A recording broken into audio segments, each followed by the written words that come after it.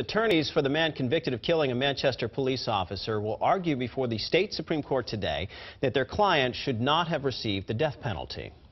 Michael Addison was sentenced to death for the 2006 murder of Officer Michael Briggs. Today will mark the first time that New Hampshire Supreme Court hears arguments on whether the death sentence was fair compared to similar cases nationwide.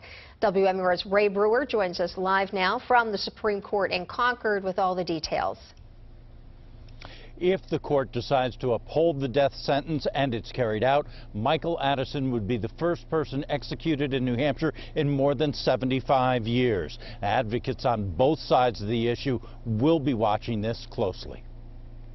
When the jury came back to impose the death penalty, I was shocked. Former prosecutor Barbara Keshen says that's how she reacted in 2008 when she heard Michael Addison was sentenced to death for killing Manchester police officer Michael Briggs two years earlier.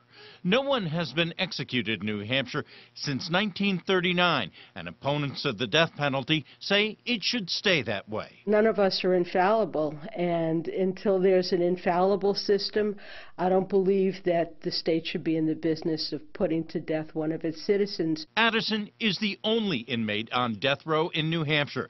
Now the state Supreme Court must decide if his death sentence is disproportionately harsh compared to the verdicts in similar cases in other states. But this could be difficult, given New Hampshire's unique capital somebody. punishment law. New Hampshire is unique in that it's the only state, well, except for Delaware, that requires a lesser mental state um, to be death penalty eligible when, when an officer is involved and killed in uh, in a crime. However, the president of the Association of Chiefs of Police says any officer involved in murder should be punished. When there's an attack on a police officer, it's not just an attack on that individual. It's an attack on our freedoms, Last April, the state legislature came close to repealing the death penalty law. It passed the House but split in the Senate, and thus the measure failed. Reporting live in Concord, Ray Brewer, WMUR News 9.